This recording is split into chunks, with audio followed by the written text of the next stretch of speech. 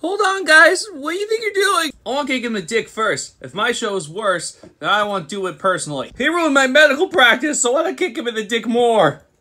I'm an officer, so I should probably kick him in the dick first. I'm a god. I should probably kick him in the dick first. He stole my power first. I want to do it. I just came to watch.